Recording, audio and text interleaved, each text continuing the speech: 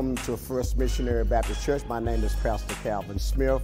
I want to thank you for allowing us to share this Sunday morning with you. But just think about it. God can be mindful of anything in the world, but He's mindful of us. He's mindful of us. He's concerned about us and He loves us. Oh, Father, we don't take you for the granted this morning. And we just want to say we love you.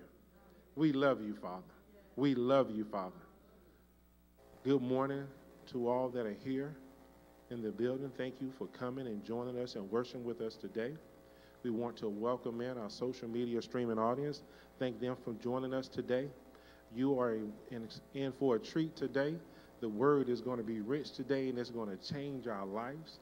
So I just want you to get comfortable, be ready to receive what God has in store for you today because make no mistake about it, it's no coincidence that you are here. God has a divine appointment with you today.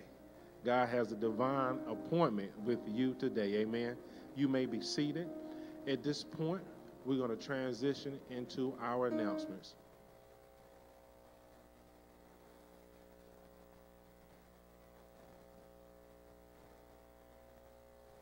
Good morning, members, guests, partners, and friends, and welcome to First Missionary Baptist Church, where we are empowering believers to expand God's kingdom.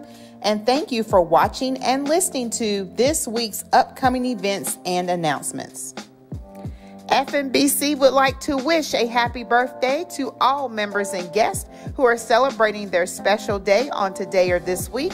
If that is you, please stand at this time so we can recognize you. And if you are watching us via Facebook Live or YouTube, please put it in the chat that today is your birthday so we can recognize you. Happy birthday and may God bless you with many, many more from the FMBC family. FMBC has eliminated our debt and we are debt free in 2023. Currently, our goal is 100% met. To God be all glory, honor, and praise. Thank you to everyone who pledged, prayed, sowed a seed, and gave unto our debt free campaign and continue to stand and believe and trust in God that because of your giving, your household is debt free as well. We are debt free FMBC in 2023. Today is Communion Sunday in remembrance of the body and blood of Jesus that was sacrificed, broken, and poured at the cross for us. For our online viewers, please make sure you have communion ornaments ready, such as water, juice, and crackers or bread, so that you can partake in communion during service along with us.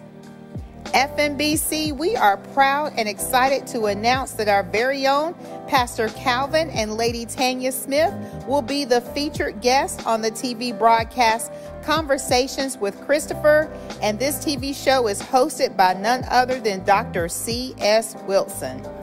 This will air locally in Martinsville, Virginia on Thursday, August 10th on station BTW 21, and there will be more details to come about how we in North Carolina can watch this segment. We are so proud and excited as Pastor Smith gets to share his teachings about the kingdom and how Pastor and Lady Smith get to share their experiences as being a pastor and first lady at First Missionary Baptist Church and being in ministry in Thomasville, North Carolina. More details to come about how we will catch this segment. FMBC members and guests, please save the date for Thursday, August 17th at 7 o'clock p.m. as Pastor Smith travels to Lambert Chapel MBC Church in Siler City, North Carolina to preach at their revival entitled I Choose to Worship. The host and pastor of Lambert Chapel MBC Church is Reverend Kevin Leake. Also, don't forget that we still are having our FMBC Community Fun Day. We have rescheduled our date now to Saturday, September 16th from 11 a.m. to 2 p.m. It is still not too late to get in on volunteering so that you can let your light shine to our community please see Sister Tiffany or Sister Tara to sign up and volunteer today. FMBC, We are blessed to be a blessing, and what a privilege and honor it is to give unto God our tithes, offerings, and gifts of love. There are four ways that you can give unto our ministry. You can give in person during our 1045 a.m. worship service. You can use the Givelify app or Givelify website and give online or your mobile device. Search First Missionary Baptist Church when you use Givelify or you can mail in your tithes and offerings. Remember, God is our source, and we give with a cheerful heart. This is just a friendly reminder to please silence your cell phones at this time. Remember, there is no food or drink in the sanctuary, and please limit movement as the word goes forth on today. This concludes our announcements and upcoming events for this week. We are First Missionary Baptist Church, and our leaders are Pastor Calvin and Lady Tanya Smith. We are located in the beautiful city of Thomasville at 103 Church Street, and you can contact us at 336 475 9632. Thank you for your continued support and generosity to our ministry. And remember, at FMBC, we are empowering believers to expand God's kingdom. Stay in the blessing. Amen. At this time, y'all know what time it is for us to get prepared to give our offerings into the house of the Lord. Amen. So we're going to get the offering confession up and we're going to stand and thank God that we're able to sow into his house. Amen. Amen. It is offering time. Praise God. All right, are y'all ready? Are y'all ready? y'all sound ready. All right, let's go. Lord, I thank you for blessing me with this opportunity to worship you with my tithes and offerings. It's a privilege to give my talents, gifts, and my resources to First Missionary Baptist Church to empower our believers to present the gospel to this community. We sow this seed, this, this ministry, being obedient to your word. You said that if I give, it shall be given back to me, good measure, pressed down and shaken together. Lord, I thank you that I don't for anything and that you're able to make all grace, every favor, and earthly blessing come to me in abundance, so that I'm always and in all circumstances furnished in abundance for every good work and charitable donation. In Jesus' name I pray. Amen. Ushers have charge.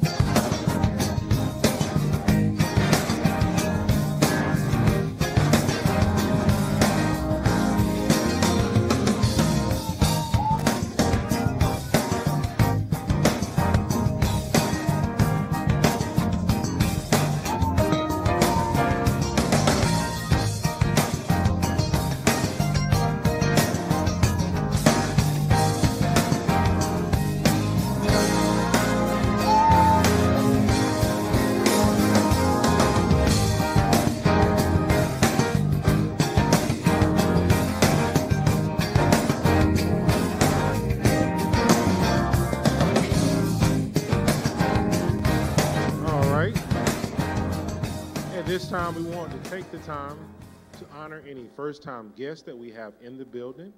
If you want to raise your hand or stand, we'd like to just honor you for joining us today. Any first time guests in the building? Amen. Amen. Welcome. We're glad you're here with us. Thank you for joining us today. Amen. All right. If you're online, if you it's your first time with us, also put in the chat that it's your first time with us, and we will uh, reach out to you. Amen. Well, at this point, we get ready to receive the Word of God. We get ready to receive the man of God that's an awesome preacher and teacher of the Word. If you don't mind, stand to your feet with me as we Amen. Amen. As we bring up our our shepherd, our visionary, Pastor Calvin Smith. Come on and give God some praise. Amen. Come on, y'all give God some praise. You can do better than that. Have God been good to you? If God been good to you, let's just take about a 10 second worship break. Can we do that? Come on and put your hands together and give God some praise up in this place. Hallelujah. Amen. This is the day that the Lord has made. How many y'all were going to rejoice with me and going to be glad in it? Amen. We're so thankful. Amen. For all of those birthday people, we want to say congratulations. And, and my, my grandson had his birthday on August the 1st. Core, y'all give him a big God bless you. Amen. I said he was six. He said, No, granddad, I'm seven. Amen. So we will thank God for that. We also thank God for uh, the, the first time visitors and those who have been, not been here for a while. But I do want uh, you to celebrate with me uh, my next to my oldest daughter. Uh, she's here today, Courtney Clement, and then her daughter. Amen. Her daughter, Ocean. And of course, you all have met Core. Come on and give, give them a big God bless you today. Hallelujah. I'm just so excited that they're here uh, from Minnesota visiting with us, and we're just elated. And uh, we just had some wonderful times together, so we were excited about that as well. Are you all excited this morning? All right. Well, listen, without any further ado, I would like with you to consider with me the book of Psalms as David begins to share in this psalm. I think now, what I'm going to do a little bit different this morning, most of the time when I give you a text, I'll stay with that text. But this morning, I'm just going to introduce my topic by the text, uh, and we're going to do it that way. Psalm chapter 77, verse number 14. Psalm 77, just one verse, chapter 14. And it reads thusly Psalm 77, verse number 14 says, Thou art the God that doeth wonders. Thou hast declared thy strength among the people. Can I take this time to read it out of the Message Bible because it makes it a little bit more uh, makes a little bit more sense. The Message Bible says, "No God is great like God." Can I say that one more time, y'all? No God is great like God. You are the God who make things happen. You showed everyone what you could do. That's the text that I want to use today.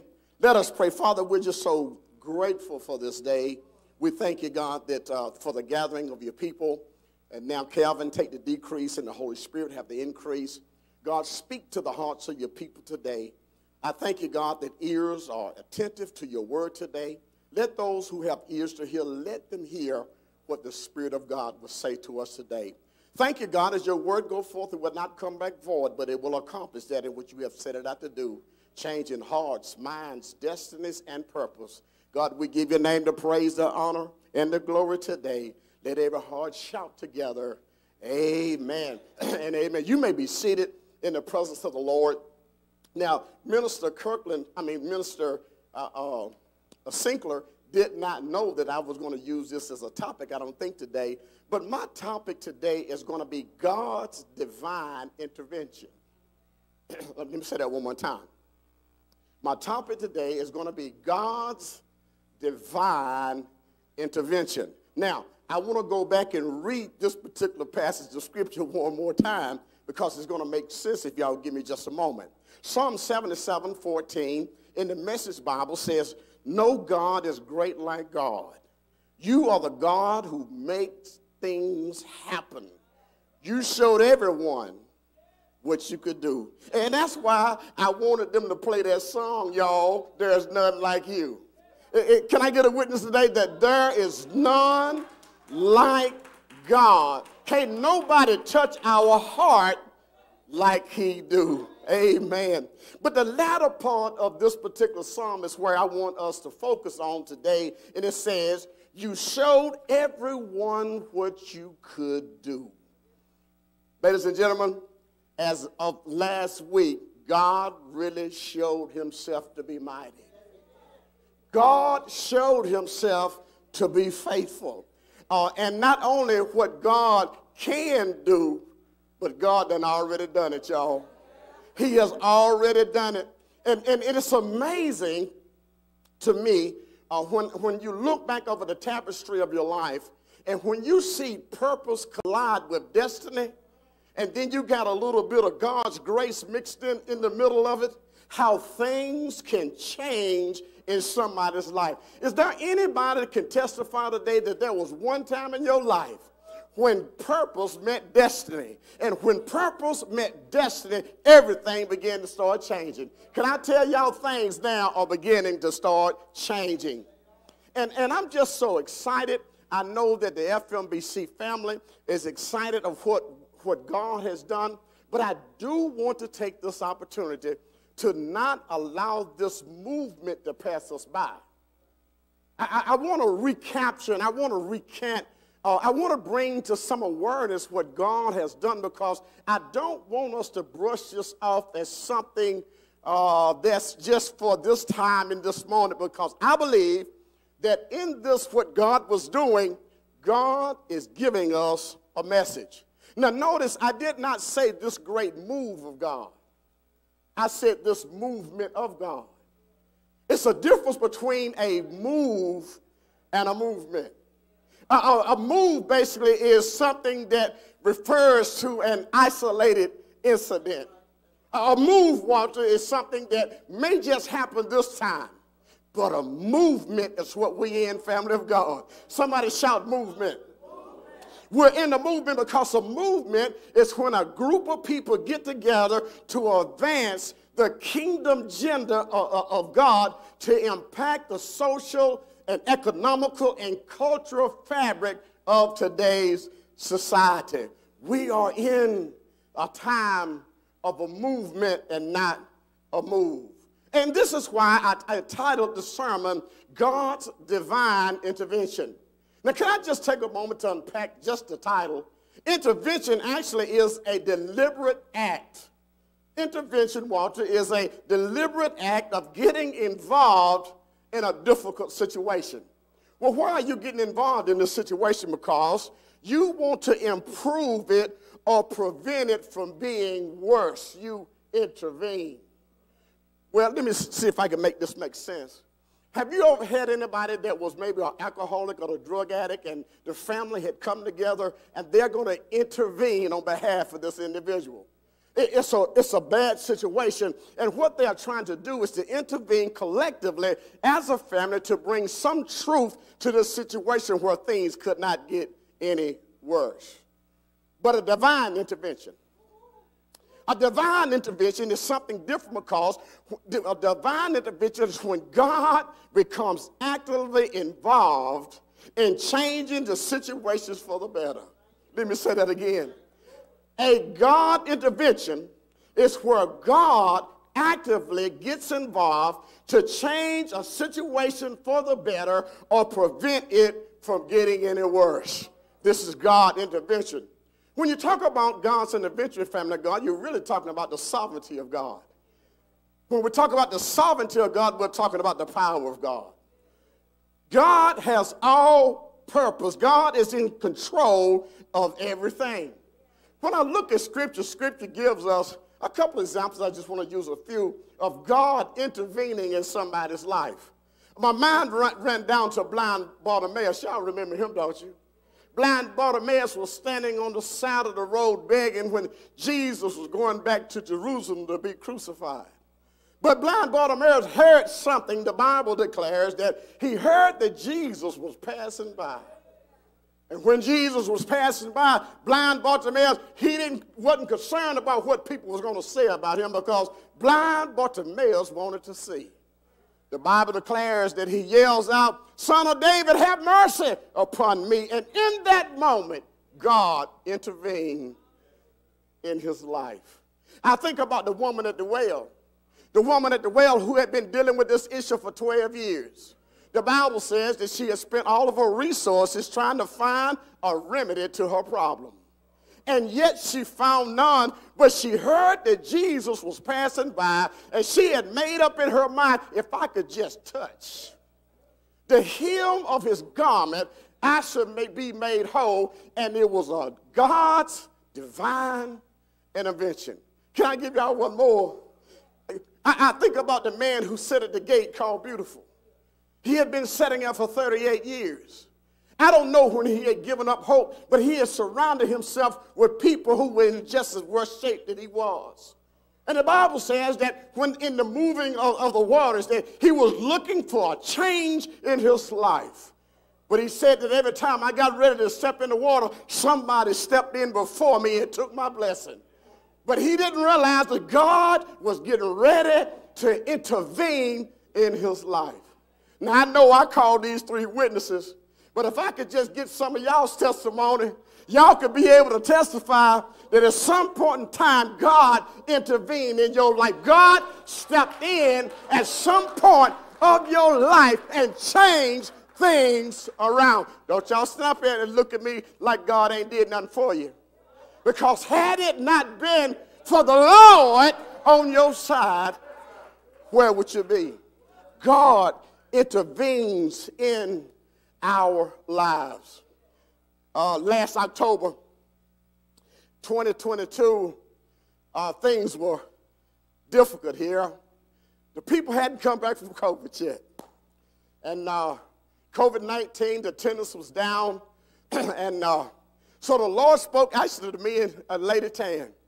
And the Lord told me, said, I want my church paid for. And uh, I know y'all talk about don't question God, but if, if I got a question, I can't ask y'all. Because y'all don't have the answer. So, so I, I, I, began to start talking to the Lord, and I said, Lord, don't you know we just come out of COVID? I'm pleading my case, you understand?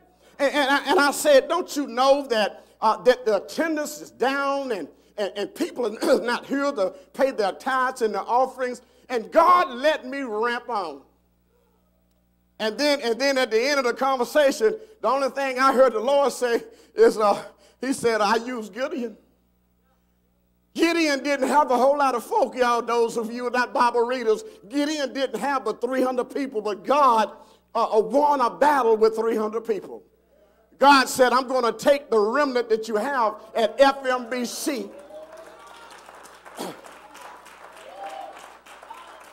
Well, I said, well, God, why, why is this so important? So he said, he said, listen, Calvin, he says, uh, the world is getting ready to be shaken. I, I said, the world is getting ready to be shaken.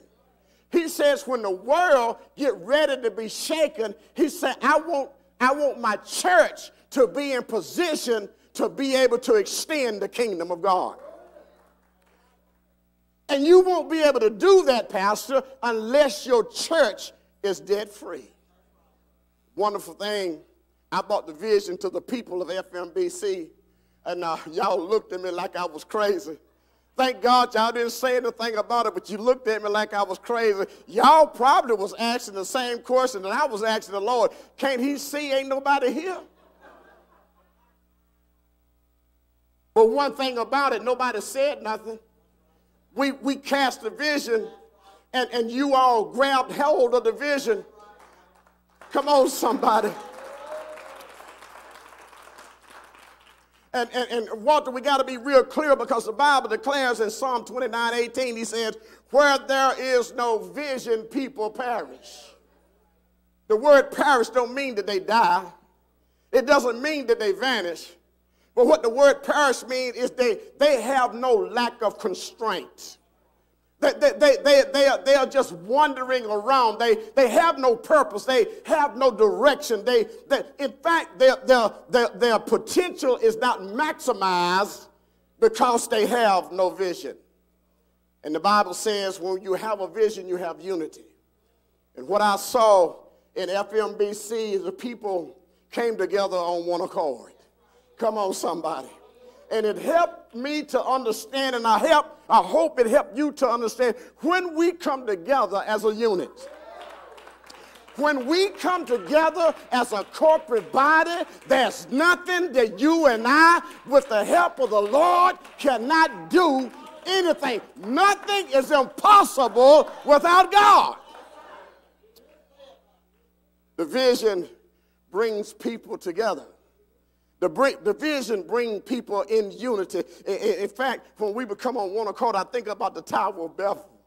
y'all remember that story, don't you? When, when the people had gotten together and they had a mind to work and they were building this structure toward heaven, and God had to interrupt them because God Himself said, These folk have made up their mind, and because they're on one accord, there's nothing impossible for them. We came together as a body of Christ. We came together as one. We bought into the vision. Habakkuk says it this way. He said it in Habakkuk chapter 2, verse 2. Uh, Habakkuk says, And the Lord answered me and said, Write the vision down and make it plain upon tablets, that he who reads it will run. I presented the vision. Y'all looked at the tablet, read what was on the tablet, and somewhere in heart between purpose and faith, y'all decided we could do this. Come on, somebody. And we put our collective efforts together and we, we ran with the vision that God has given us. And here we are, uh, uh, uh, not even a year later, we're celebrating a vision that was cast in 2022 but now you have made it a reality. You ought to give yourself a God bless you. Now, let me say this. Let me say this. Uh, when we got that blessing last week, and I'm going to tell you about the blessing because some folks still don't know, but we're going to share it with you. We had already put our hands to the plow. 70% of the church debt was already paid before God intervened. Amen. And so what happened was that the people let their faith uh, be displayed by their works. Because the scripture says faith without works is what? Dead.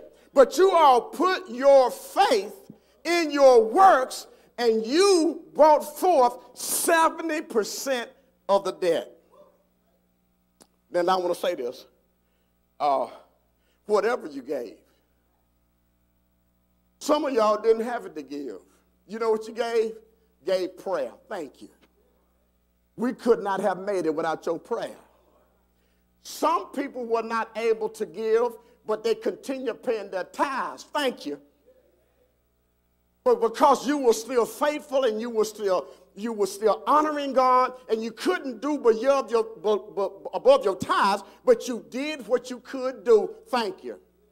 Thank you for my, my seniors who are on a fixed income and yet you found some kind of a way to sow seeds to make this church debt free. Thank you so much. Thank you. Uh, uh, and, and, and, see, there, there were some people who didn't have a, a lot to give. They didn't give out of their abundance, but they gave out of their lack. And I want to say that whatever that it was, everything God is, is, is going to appreciative of all that we have done. But I'm going to give you three things I believe real quickly that God wants us to understand about this vision. Number one is, is uh, enhance your expectation in prayer. If we have not seen anything with this intervention of God, we ought to now, when we pray, expect something. I will say that again. We have to now pray and expect something. Why? We already seen what prayer could do. Prayer is the most talked about discipline in the church, but it's the least one ever used. If you were to ask people how important prayer was, everybody in the believers say, you know, how vital and how significant and how important prayer really is, but only 50% of Christians pray. I believe that there are two reasons why people don't pray. Y'all want to know what they are? I believe the first reason that people don't pray is they don't see no results. Why pray and you don't see nothing happen? I'm going to say that again. Why pray and you don't see anything happening? And this is why uh, Prayer 101 is very important. My wife does every first and third Saturday. Please tune in if you haven't because she's teaching us how to have effective prayer. And I think the second thing, uh, Walter, is we don't know how to pray. But this teaching today is going to change your life. It's going to change your prayer life. It's going to change how you look at prayer. And you're going to be able, if you implement these principles, you're going to be able to see God move even in your prayer life. Say amen. All right?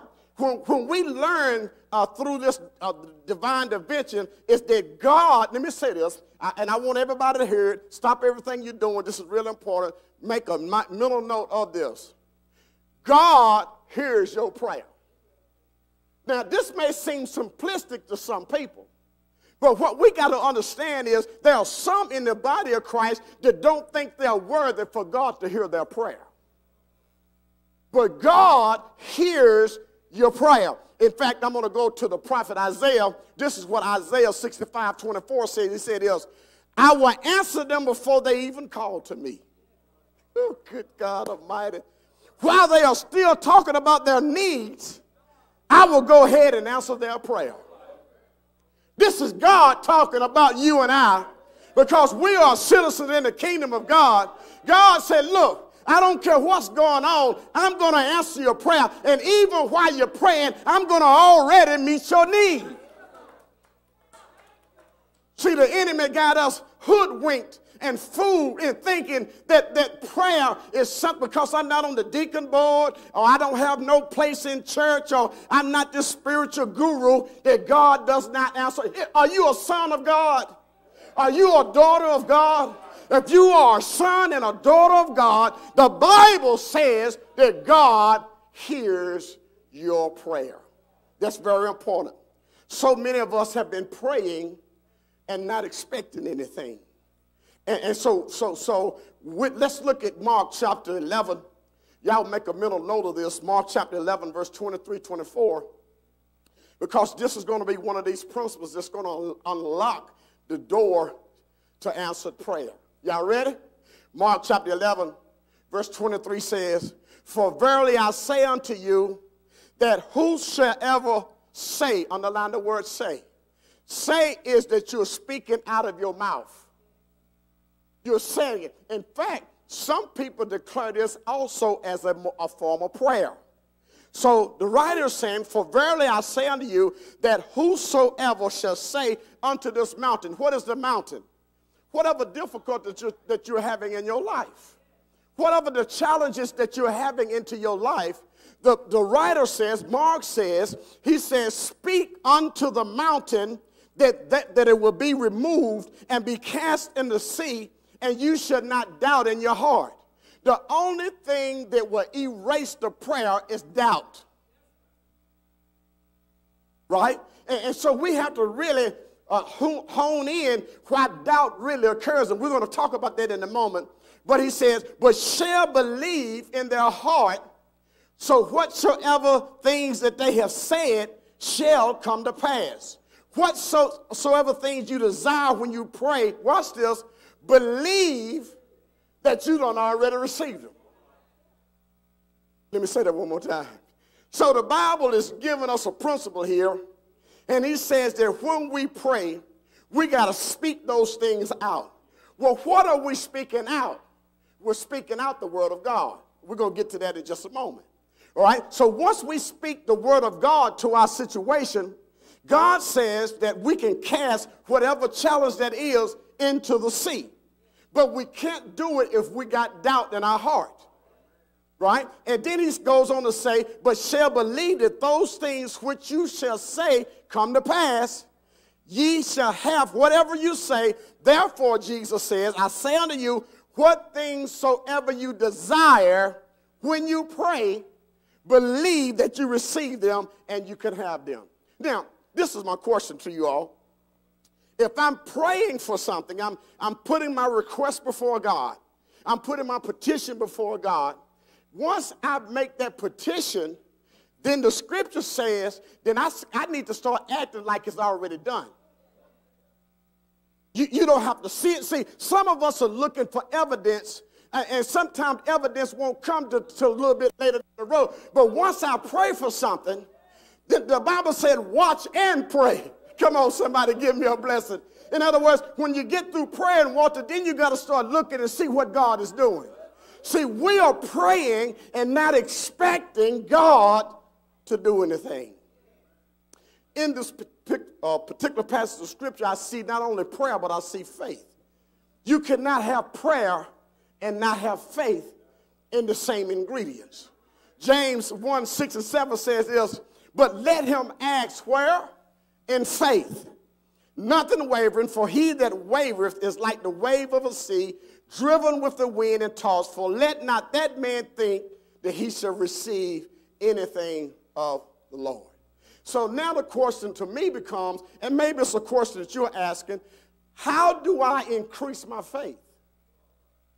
How, Walter, how do I make my faith coincide with what I'm praying because there were some parts in Scripture where even those in Scripture said, Lord, you know, have mercy upon my faith, help my unbelief. There's some things, family of God, that happen to us that will shake our world. I don't care how religious you are. I don't care what denomination that you are from. There are some things that will transpire in your life that will shake the very foundation of your faith. Can I get a witness? All right? And so, so one of the keys to that, I'm going to give you a key.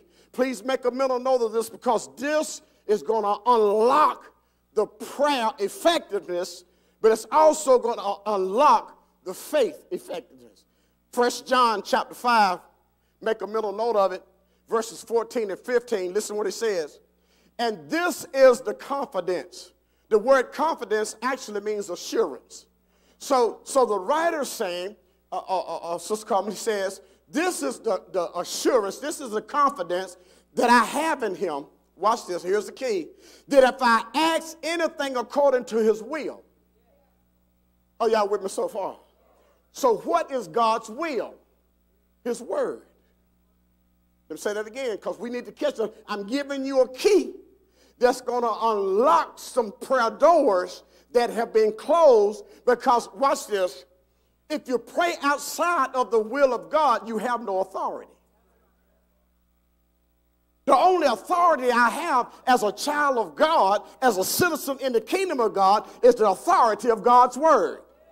When I pray outside of the will of the word of God, nothing is really going to happen.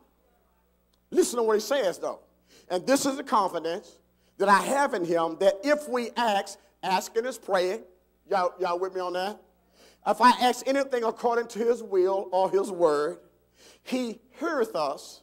And when we know that he heareth us, then we will have the petitions of what we have desired of him. This is a key to answer prayer. And I'm going to show you how you're going to use this key to unlock it. But can I tell y'all one thing about this passage of scripture? Two things, really. Uh, first thing is prayer is a petition. Write it down, very important. See, we have been, and you're not, we're not wrong in um, identifying or defining prayer is a communication between us and God. That is true. That is true. But prayer also is a petition. The word petition actually is a legal document. Let this sink in. Petition really is a legal document. And, and so, what it is, family, it's a letter making a formal request upon a particular promise. Let me do it this way. Walk. It's going to make sense. Prayer, then, because it is a legal right, is I'm legally making demand upon the promises that God has already promised. When I look at prayer from that perspective, then I approach the throne of grace and mercy from a different way. Because when I go in, I'm not going in as a vagabond. See, sometimes we approach prayer like we're not worthy. Now, I know we don't go before the throne of God arrogant, you know, or, or, or self centered, but we go to the throne of God knowing who we are and our identity in Christ.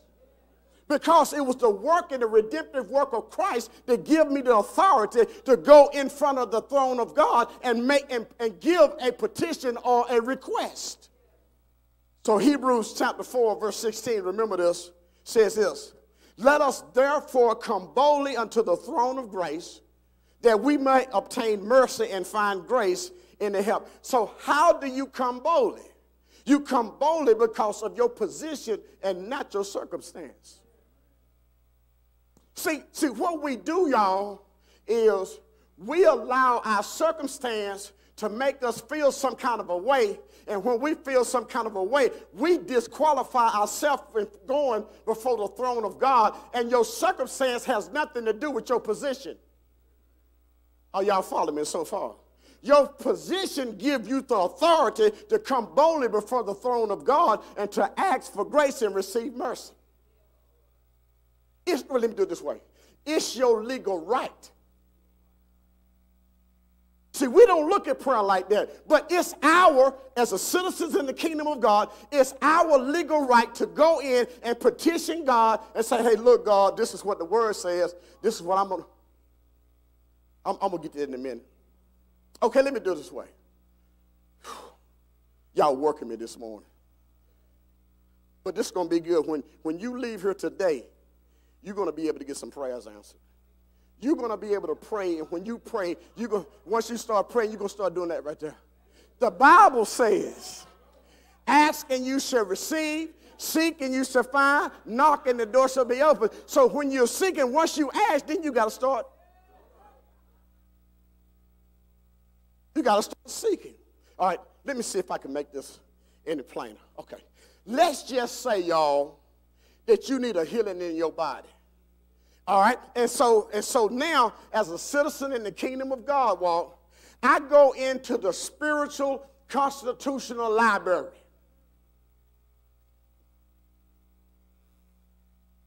I go into the kingdom throne of God, the spiritual library.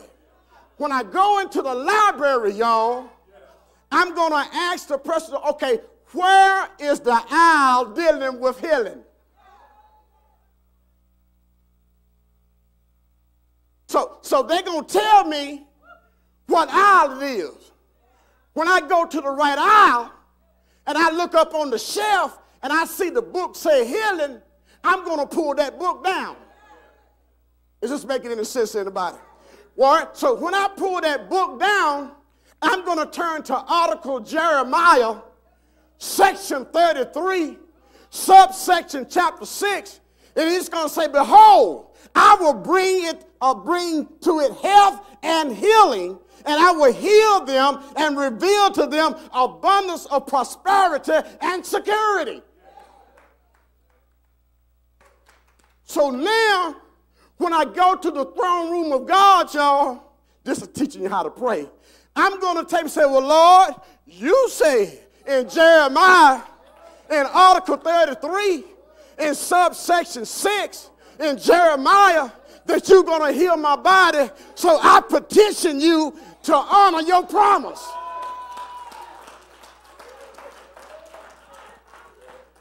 Oh, okay. Oh, okay. Can I push the envelope a little bit further? Then you may say, then you may say, okay, some other things are going on. Then you go to another aisle, y'all, and in this aisle you see the book of Psalm. But in its article, uh, it's, it's, it's, the article is Psalm section 34, subsection 19. This is what it says, many are the afflictions of the righteous. y'all, y'all, I'm going to go over here because y'all ain't. Oh, over here, y'all, the Bible says in Psalm, when I pulled the book down, and looked at the book, he says, Many are afflictions of the righteous, but the Lord delivered us from what? All of them. So when I go into the throne room of God, I'm not begging. I'm saying, God, this is what your word says. If, if, you didn't, if you didn't mean it, you shouldn't have put it in here. But this is the promises. You said in your word, all your promises are amen and true. So I come to the throne of grace and I'm bringing an article of Psalm 34. Now, wait a minute. Can I give y'all another? So some of us are walking in fear. We're looking around, seeing what the world is and everything. Go to the fear aisle. Over in the fear aisle, you'll see article uh, uh, uh, Second Timothy, section number one, subsection number seven, said, God did not give us a spirit of fear, but of power and of So maybe somebody, maybe somebody is at a crossroad in their life and they don't know what decision they need to make. Then you need to go to article Proverbs number three, chapter number five. And it says, Trust in the Lord with all thy heart, lean not unto thy own understanding, acknowledge God in all of your ways, that He'll do what? That's what prayer does. Then somebody may say, I'm gonna, I'm gonna end with this. Somebody need a door opportunity to open. See, all you got to do is go in the library, ask the librarian where it is, go on the aisle, find the book. I found this where people who want some doors open in their life. I found article Revelation chapter 3, subsection number 8. Watch what it says. He said, God opens a door that no one can shut for those who are faithful to him. So if I'm looking for God to do something, if I'm looking for God to open up doors, I'm going to go to Revelation and pull out and, and go to God and say, Lord, this is my petition. I'm giving a legal document because I'm legal. I'm not Ill, uh, illegitimate. I am legal and I'm laying claims upon the promises of God. Can I tell you the next thing? Not only prayer is a petition, but prayer is also a permission. Watch this. God would never do anything on earth that man don't cooperate in. I know, I know we've been taught, we've been saying, God can do everything because God is all sovereign. And you're right to the point. But what God will not do, he will not violate his word. Right? And so we, we got this mindset, Walter, where God's going to do everything. So we sitting back waiting for it. But God will not do anything on earth unless he have participation of his people. Are y'all, are y'all with me? See, you must give God permission to intervene in your situation. God is a gentleman. He's going to not knock the door down. As long as you're going to deal with it yourself, he'll let you deal with it yourself. You'll keep running into the wall. You still won't help answer prayers. You'll be frustrated and everything going on. And he just sitting there and said, well, I mean, they, they got the legal right for me to open up the door, but they don't never uh, uh, invite me to come in. I just let them go ahead and do their thing because eventually maybe they'll understand that I'm right here and I can do what they can't do. We have to give God permission. There is, John Wesley puts it like this. I really like this, y'all. Listen to what John Wesley says. Without God, man cannot. Without man, God will not. That's good, ain't it? Can I say it again? Somebody need to put that on Facebook. John Wesley said, without God, man cannot. Without man, God will not. James, James uh, chapter 4, verse 2 says, You have not because you what? Whatever, listen to this is very important, y'all. It's going to turn your prayer life around. Whatever that you're not praying for, you're not trusting God for. If you're not praying about it, then it's a good possibility that you're still trying to work things out on your own. All right? And, and so, and so uh, uh, and, and then when I go to Luke, see, there, there's a, there's a, um, there is a, uh, a principle called the principle of cooperation. In prayer, there's a principle called the principle of cooperation. Y'all want to see what it says? Ask and it shall receive.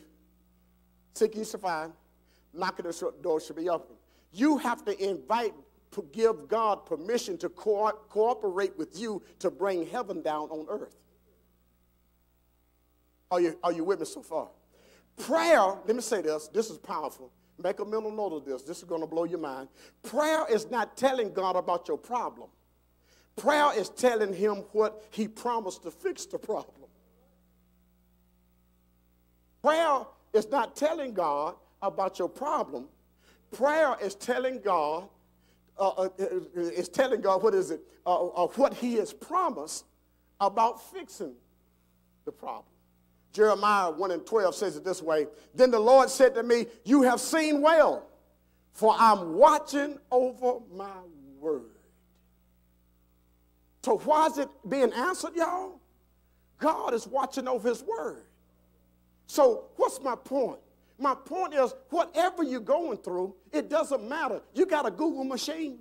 It is really made real easy right now, y'all. I know when I come up, you had to get the Hebrew dictionary, the Greek dictionary, uh, Vine's dictionary, and you had to go through all of that. But all you got to do now is Google it. And once you Google what the Word of God says, God says that I'm going to see that my word come to pass. So when you pray, all you do is pray God's word back to him, and he's a watchman over his word, and he will make it come to pass. This is effective prayer. So now, Walter, watch this. So when I'm praying like that, now I got confidence.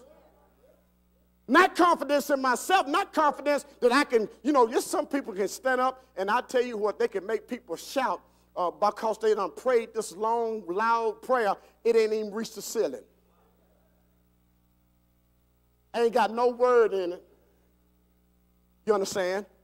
Right? And, and maybe you say, well, I can't pray like nobody else. No, just go to the word and pray the word. Watch this. So prayer is a permission. Uh, now, God will not violate his word. Now, the listeners, write this down, make a mental note of this. When I say God will not violate his word. In Genesis chapter 1, verse 26, the Bible declares, it says, Let us make man in our own image and our likeness. And then watch what God says. He says, Let them have dominion. Underline the word let them. God has given you authority. And because God has given us authority, He's not going to violate what He's already done. So, watch this. If you need a change in your world, it's up to you. Has nothing to do with God. Has nothing to do with God. See, we are trying to lay everything at the feet of God, and God has said, No, no, no. I've given you everything that you need to become all that I have created you to be. He said, I he said, let them rule. So God would not violate his word. I know, watch this, y'all. Y'all know the model prayer. Our Father, which art in heaven, hallowed be thy name. Thy kingdom come, thy will be done where? As it were, The prayer, the model prayer is not for you to go to heaven. The model prayer is for you to cause heaven to come down and interrupt your earthly affairs. Am I changing your perspective of prayer? All right? And, and, so, and so if, if we don't like what's happening on earth, it's our fault. If we don't like what's happening in our life, it's our fault because we have not prayed the kingdom down and asked, give it permission, and, and forth a petition and say, Lord, this is what you said, this is your promises, and I'm bringing you a petition, and I'm just going to stand on this because you said in your promises this is going to change. Are you blessed? So look, I know my time is running out and I'm going to have to rush. So not only do we need to, when we saw this evidence of God moving, did I ever tell y'all, did I tell y'all what God did? No, I told you the vision, didn't I? So watch this, y'all. So we were $15,000 short. I'm, I'm telling you, because somebody on, on Facebook ain't heard it, y'all. So we were, we, we, we were $15,000 short uh, in uh, in paying off the building. And, and I, I stood before y'all, what, three Sundays ago, and I said, listen, I believe in what we're doing. I believe in the vision. I believe what God is saying. And, and, I, and I didn't do it braggadociously. I don't know if that's a word or not, but can I use that? braggadociously. And, and I said, I'm going to pledge another $1,000 because I believe on what God was doing. When I pledged that $1,000, you know what my pledge was? My prayer was, Lord, touch the heart of somebody.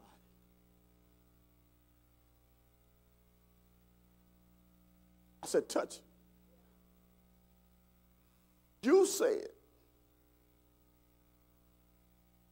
to Moses to stand before the people, tell them the vision. I did what you told me to do. We short. So I petition you to make it come to pass. It's your vision. So that was on Sunday, y'all. On Thursday, I got a call from somebody that I had only talked on the phone one time in about five minutes. I met him three Thursdays ago for, for dinner for about 30 minutes. And this man of God, what he wanted to do was on last year, he wanted to back my ministry. He said, Calvin, if you want to go on the road, I'll back you. He said, I want you to get a 501c. If you want to write books, I'll back you. If you want to be an evangelist, I'll back you. But I, I, went and met with the man of God about three or four weeks ago, and I said, Sir, I appreciate you believing in me. I said, But I don't believe God moved me this way. But I said, Let me tell you about my church. Let me tell you about what God is doing in this little old bit, of, and they got a 501c already. And I began to start telling the man of God about what God was doing here and how people had come together, how we had walked in unity, how we had worked corporately, how we had walked in, on one accord. And I said, We right here. He said, Well, Calvin, how much do you owe on the building? I said, Well, we owe about $15,000, sir. And, and I was telling him, I said, well, look, you know, we're growing so fast. I really need to be in the community. I need to be meeting with people. I need to, I need to, my face need to be seen in the community. He said, well, how much do you need to kind of get some bills out of the way where you can go full time? I gave him a price. So when I made that decree on Sunday morning, on Thursday, I got a call from the man of God. And he said, listen, I'm sorry that it took so long to get back with you, but me and my wife been talking. And so what we have come up with, he said, now how much you say you owe on that church? I said 15,000. He said, count it as done.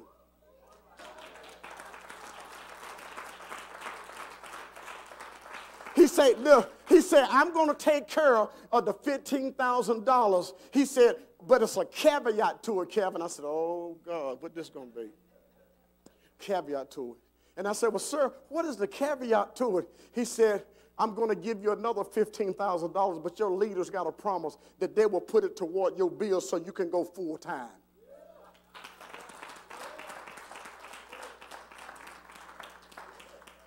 If that don't raise your level of ex- expectation in prayer, if that don't raise your level of faith, I don't know what will.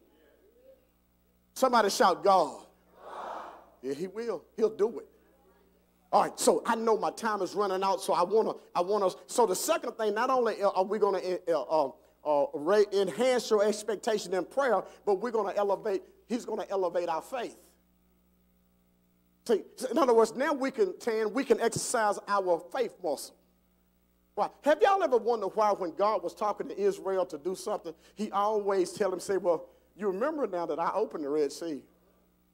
He said, You remember now that I, get, I fed you in manna when you didn't have anything to eat. Why did God do that, y'all? He did that as a reference point. And, and, and the reference point you is that if I did it then, so yeah, okay, I'm gonna go over here because if if I did it then for Israel, how many y'all know God is not a respecter of persons? How many of y'all know if God did it for them, he'll do it for you? How many of y'all really know? I'm not talking about the, the, the fringe people, but I'm talking about people who don't got sold out and believe if God have this church debt free, how many of y'all know y'all can be debt free? How many of y'all know God can cancel your bills? How many of y'all know God can step into your hospital room? It's the faith. a man, a man was walking along a cliff, and uh, he slipped, and uh, he fell over the side of the cliff. cliff. Uh, but right when he, he fell, he grabbed a hold of a twig. So he was hanging on, Walter, to the twig with one hand. He was dangling off of the, of, of, of the mountain. He looked down several hundred feet down. He saw death. And so he's hanging there on life, y'all, struggling, uncertain about what's going to happen next. And he yells out, Is there anybody up there? Uh, he says, um, Help me, somebody. Uh, I'm dangling for my life. A voice comes out of heaven saying, Do you believe that I can help you? Yes. Yes, I believe that you will help me. And then he yells out, Look, please, somebody help me on this branch. A voice comes out of heaven again. He said, Do you believe that I have the power to help you? He said, Yes, yes. Somebody please help me. Then the voice comes out again. He said, Do you think that I have, do, do, do you believe that I love you? He said, Yes, I know that you love me. Help me off of this branch. Then the voice says, Let go. It was a silence. Then the man said, Is there anybody else out there?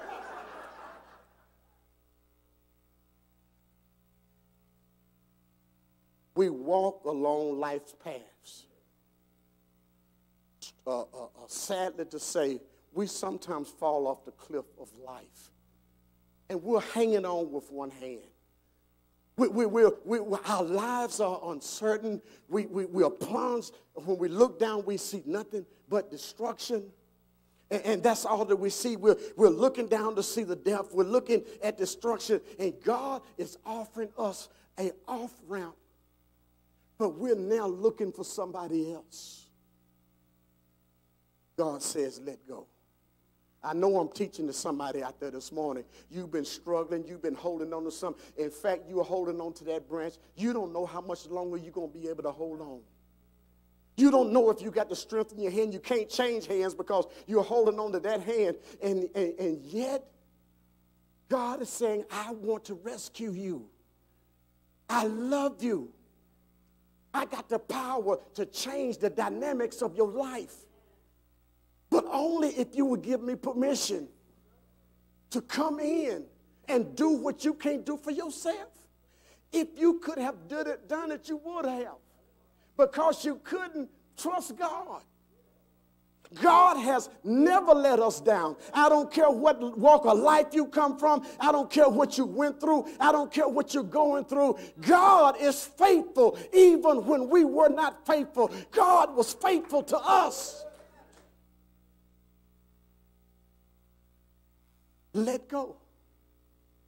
We got this, this uh, cliche. Uh, if we could really just hang on to it, it'll be really blessed. Let go and let God. Amen. All right, so how do I increase my faith?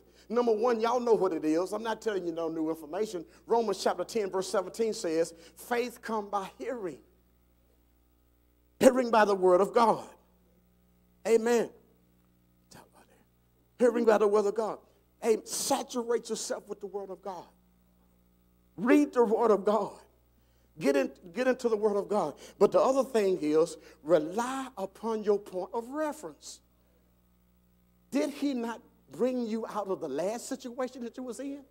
Well, if he brought you out of the last situation, then it's a good possibility he can do the same thing. So now, let me go because I, I, I, know I don't want to wear your time out. So enhance your expectations, elevate your faith. Watch this. Enter into your inheritance. That's what we did. God bought us into our inheritance. We got to know and to understand who we are in the body of Christ. Nobody taught us this, y'all.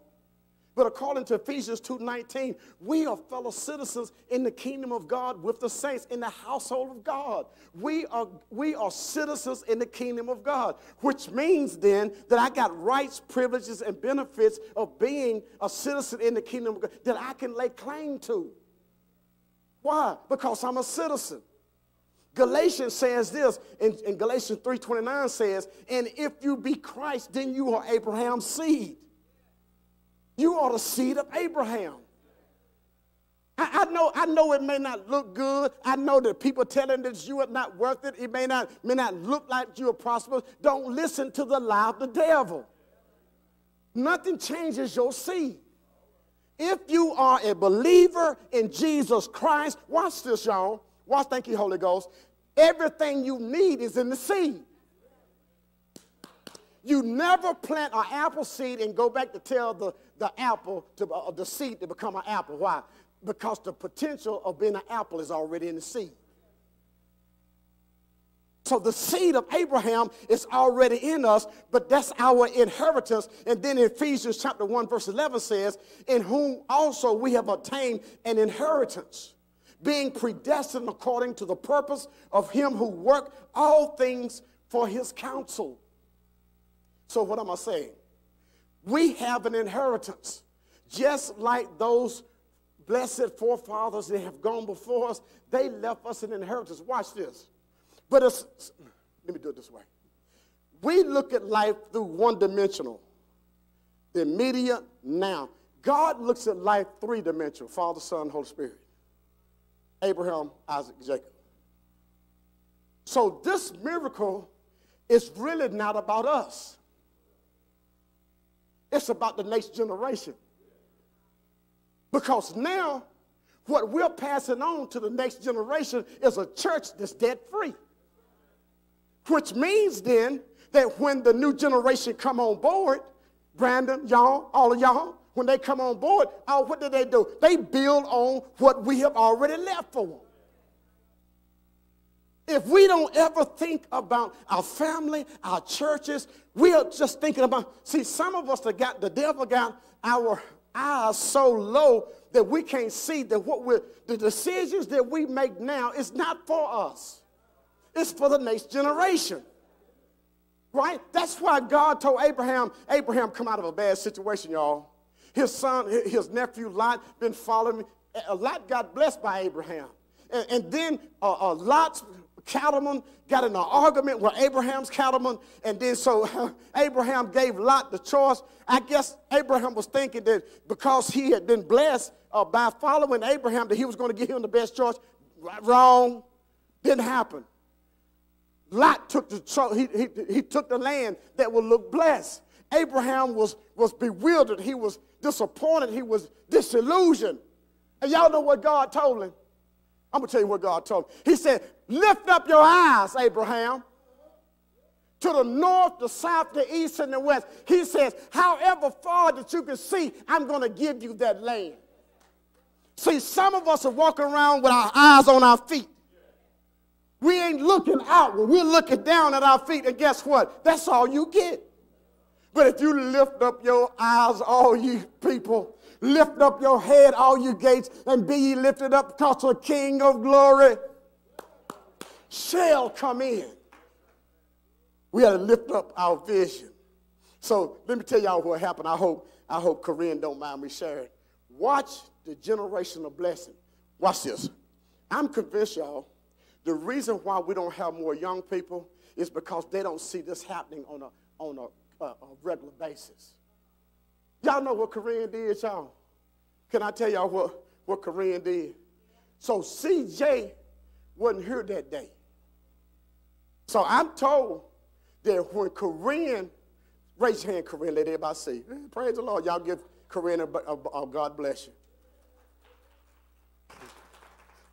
So Corinne told CJ, she says, Do you know our church is debt free? Now, whether she knew what that was, I have no clue.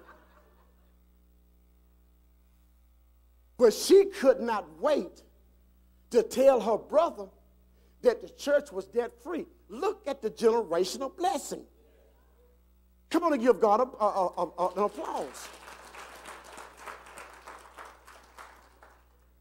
See, it's about generation.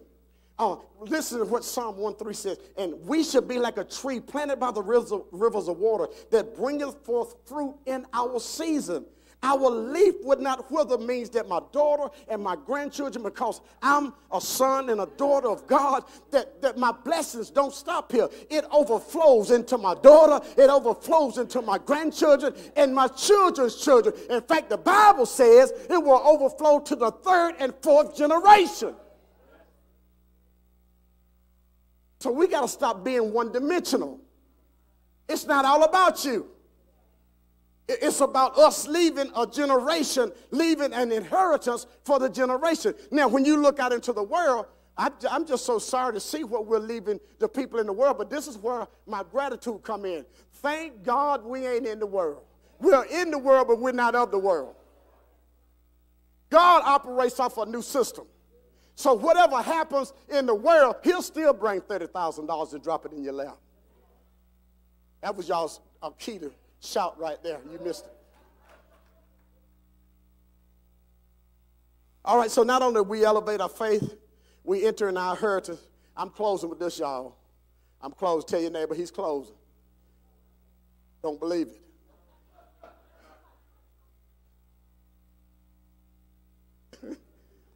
So we, we're going to enhance our prayer.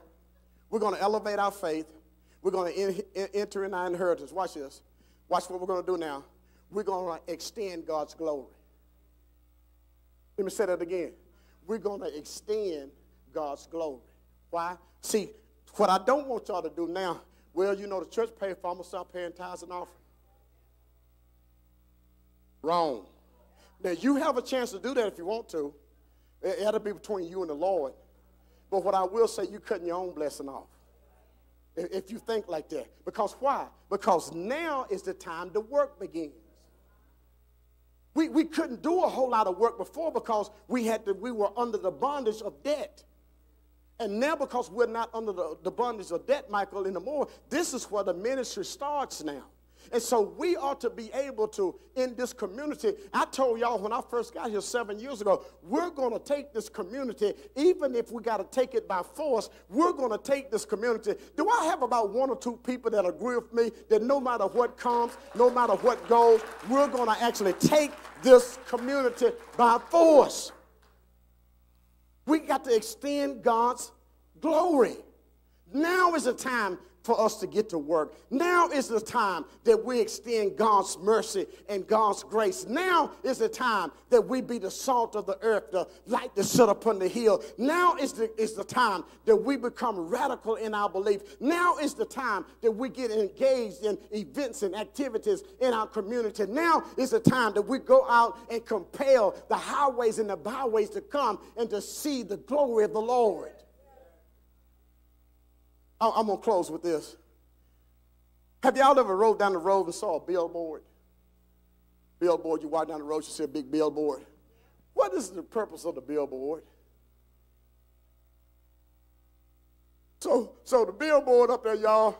So the billboard says, uh, if you need any legal advice, what's that, what's that place called? Dirk Schumer, whatever his name is. Bagging his shoe. Praise God. They got both of their pictures up there. And they, and they, but you, have you noticed that they never has the price on them, y'all? Uh, they just got the picture. But what does that sign do? It points the people to a product or a place. That's what we ought to be, y'all. We ought to be billboards. When people are going down the highways of life, when people on your job, people in your family, we ought to be billboards. Say, hey, hey, look, let's go see the glory of God because the glory of God is what you need. You don't need more finances. You don't need a better job. You don't, you don't need to supersede. What you need to see is the glory of God. And so I'm just so thankful today that God has allowed us to see his glory. I wish I had about one or two people. My mic is going out, which is telling me it's probably time for me to stop. But I'm thank God I got another mic over here. And I wanted to tell somebody before I go. Can I tell y'all something? I, I want to tell somebody this divine intervention with God has changed my life. Because now, Victor, when I begin to start praying, I'm going to pray like I'm looking for something. I'm not going to pray amiss. I'm not going to pray with doubt in my heart. I'm going to pray and believe that God is going to do what God has always done. Because how many of y'all know God is a good God? God will do what He said said that he would do. Is there anybody that's in here today that know that God intervened in their life had it not been for the goodness of Jesus and all that he has done for you? See, you miss your cue to stand up and give God some praise because had it not been for the Lord on your side, you don't know where you would be. You ought to give God some praise. When I look at now, when I pray, Walter, I'm going to start looking around because when I pray, I'm looking for God to move. Is there anybody in here that's looking for God to move? Is there anybody in here looking for God to do something? Shout yes. I, that, was a weak yes. We got to bring y'all on in. Is there anybody in here that have made up their mind? You're not sitting on the crossroads of life, but you're looking, you're convinced, you are assured that God is going to do, He's going to move in your life. Shout yes. Oh, that's still not good enough. Heaven could not hear you. I want everybody to put their voice together. If you believe in God is going to intervene in your situation, is there anybody in here that need God to step in and move some things around, to shout some things around? If that's you today, you put your voice together and shout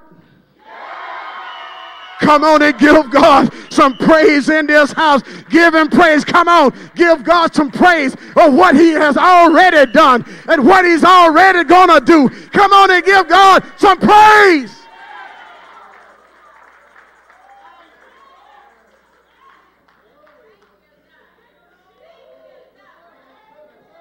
Come on, somebody. I'm, all this week I've been trying to maintain myself, but right about right now, if I could shout, I, I will burn this place up. But because I can't shout, I'm just going to jump up in town and tell God, thank you. Thank you for blessing us. Thank you for healing me. Thank you for moving me. Come on, somebody. Somebody got a praise in their belly. I devil dare you to open your mouth and give God some praise in this place. Lift up your hands. Somebody said that when I when I lift up my voice, when I praise God, blessings come down. Is there anybody here need a blessing from the Lord? Open your mouth and give God Come on, let's take 15 seconds. God will do it. God can do it. God has already done it. Come on and give God a praise. Come on and give him a praise. Wait a minute. Wait a minute, Teron. I'm getting ready to go. I want to take my family to dinner. I'm getting ready to go. But I remember over in Elijah, over in the book of Kings, uh, Elijah had already prayed and heaven had backed up for three and a half years. But then Elijah got a word from the Lord. And when he got a word from the Lord, he sent his servant. His servant went out one time. He didn't see no evidence of his prayers being answered. His servant went out the second time. He didn't see the evidence of the prayer being answered. But when he got back on the second time, Elijah said, Hold up, I hear the sound. I hear the sound of rain. Is there anybody here that can hear the sound of rain? You can't see it, but I hear the sound of rain. Come on and give God some praise. Come on and give God some praise. I hear. It ain't come yet, but I know it's coming. You, is there anybody here that can rejoice before it comes? I don't need it in my hand. I just hear the sound of rain, and because I heard it, I'm going to rejoice.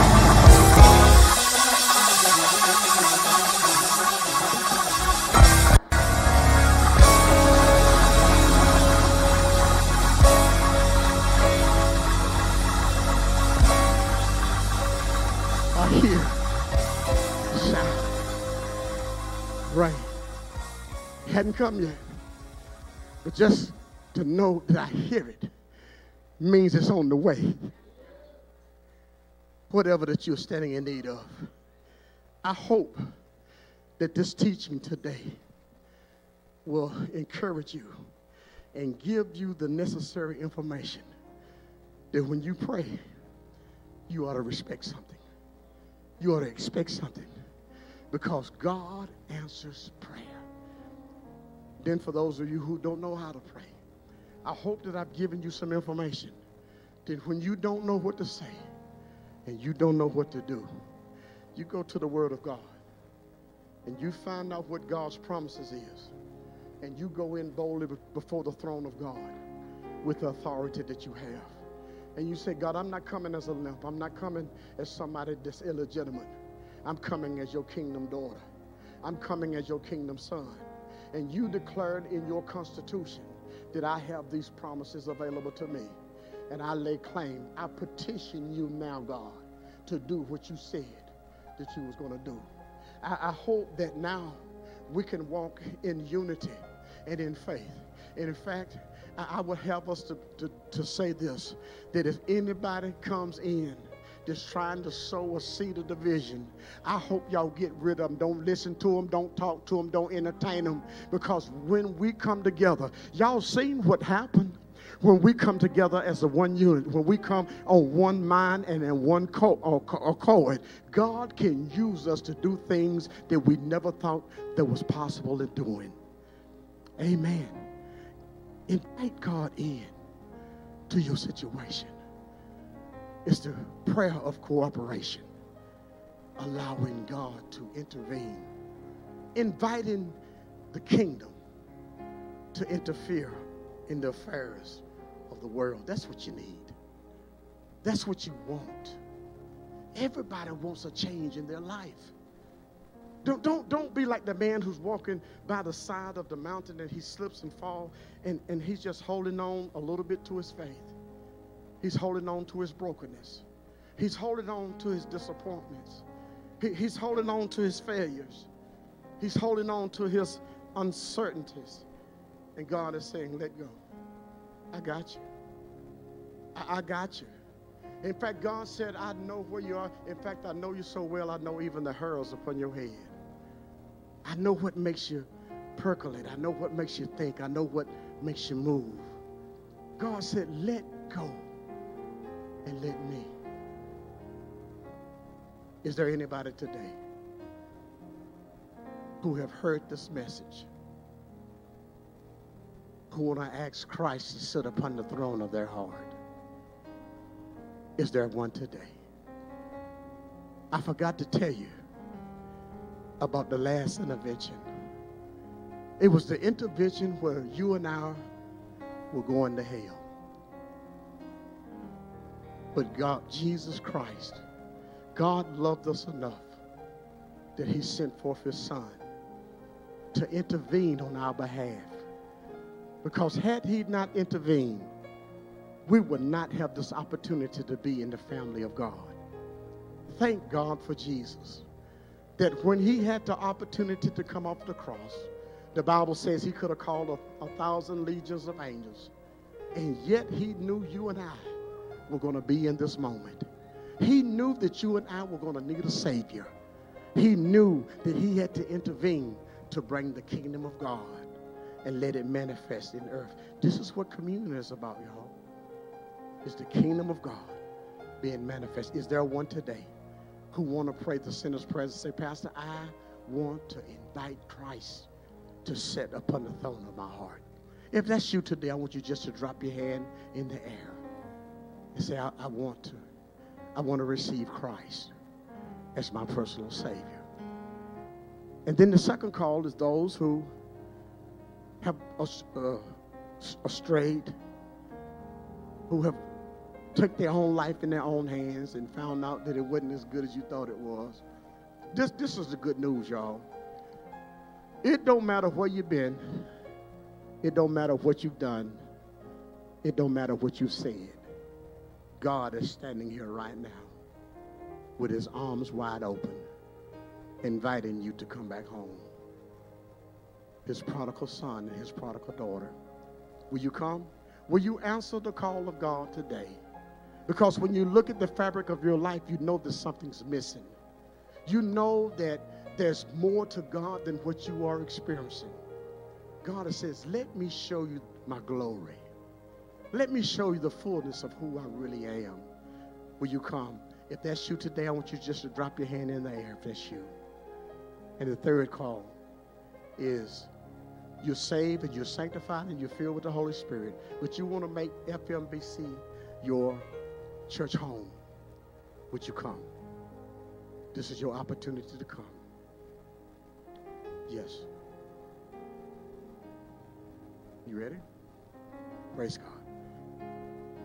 Come on, we got one.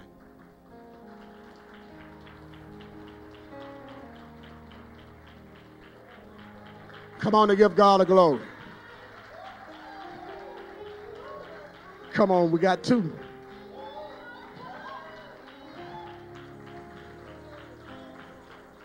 Is there any more?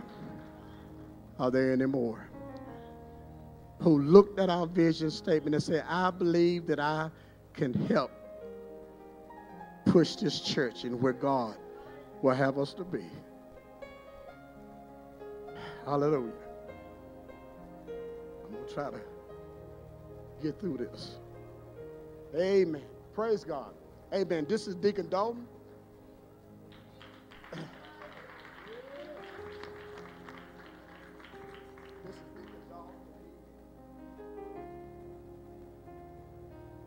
Lexington, North Carolina. He was a, uh, the deacon there, and he's been coming and sharing with us uh, for about six or seven months now. Uh, I, I, call him on a regular basis. he's he's just a, just truly a man of God, and I'm so honored. I'm so honored that he has chosen First Missionary Baptist Church to come and to serve. Y'all give him a big God bless him.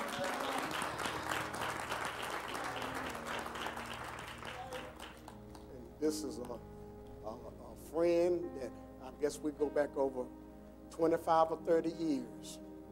And uh, she used to be one of my parishioners long years ago. And uh, some things transpired. And I left the church and, uh, and I left a lot of friends behind. And so for the story that was told to me, and I believe it's the truth, she had been looking for me for years. For years. She had been looking for me for years she run across somebody that found me on Facebook. And, and they told her where I was. And since she have come, she's not missed not one Sunday. Amen. Amen. So this is Miss Canetta Mike McIntyre. So what we're going to do, we're going to set up a, a, new, a new members orientation for you both. Uh, and uh, we'll be getting back with you in regards to that. But I just want you to turn around and I want your new family to see you all. you will, you will hear me referring, you will hear me referring to this young man as Deacon Ernest Dalton, and I will continue to, uh, to address him in that manner. Welcome, uh, uh, Deacon Ernest Dalton, and welcome uh, Miss Canetta McIntyre. Come on, family, y'all. And you can be seated. Praise the Lord. And we'll be getting back in touch with you. All right. Praise God. God is moving. Yes, yes. I said, God is moving. He will show us every time what He will do. He will do. Uh, am I missing something? I'm missing communion. All right, that's why I'm so thankful that I got a lot of people helping All right. Praise God. Everybody got communion this. Y'all, I told y'all about that last intervention. And that last intervention is when Jesus was sitting around the table.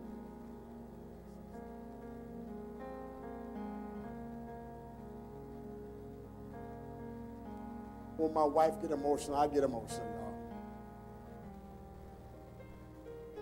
So,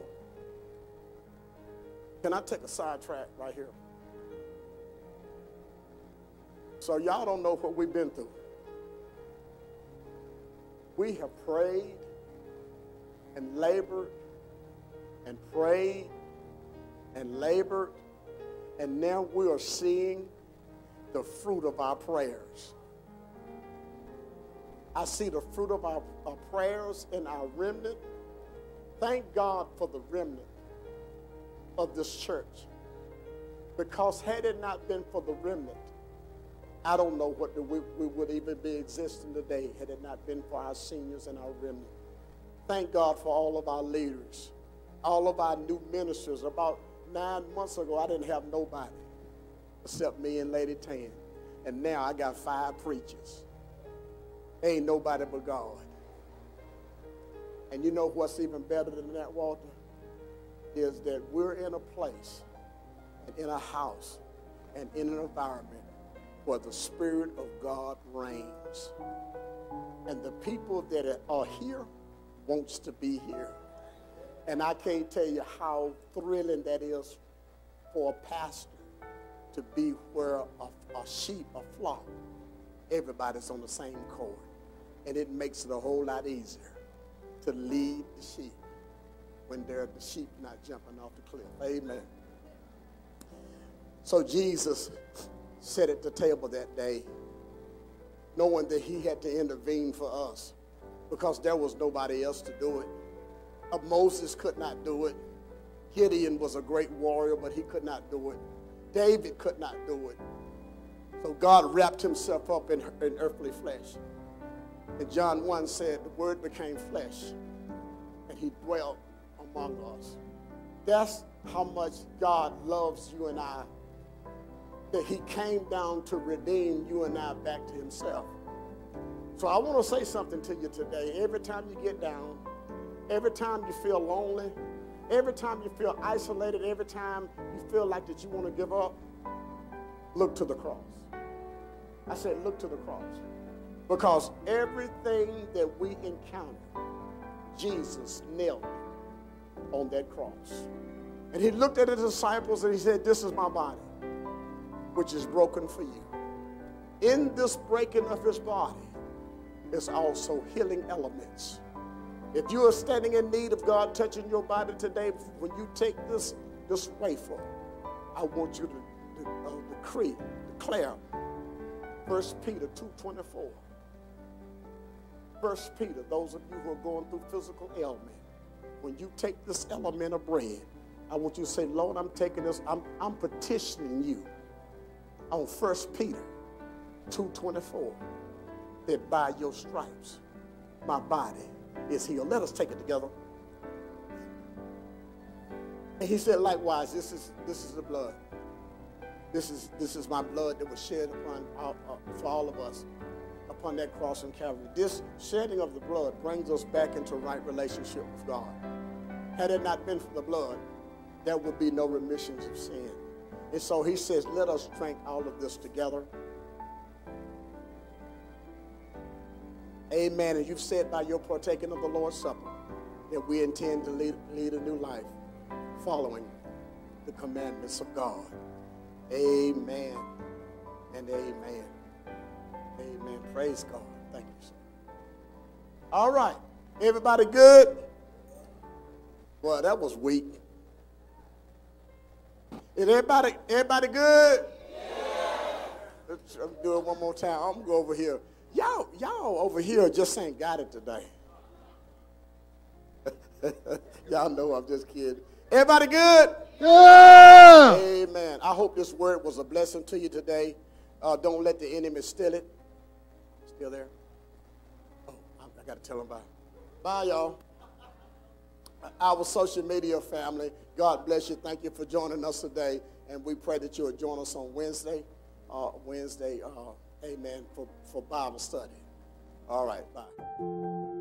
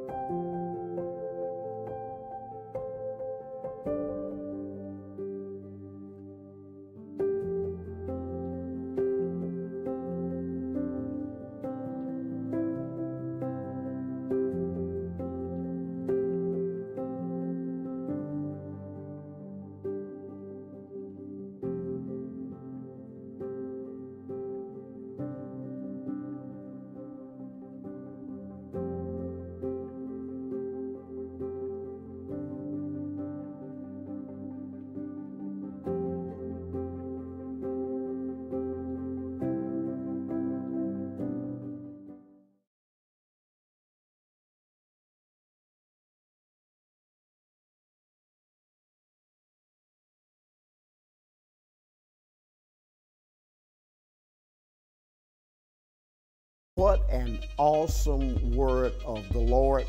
I hope it was inspiring to you. I hope it was challenging for you as you walk your Christian journey. Uh, and please join us again on Wednesday night at 7 o'clock and hope to be with you again on next Sunday morning.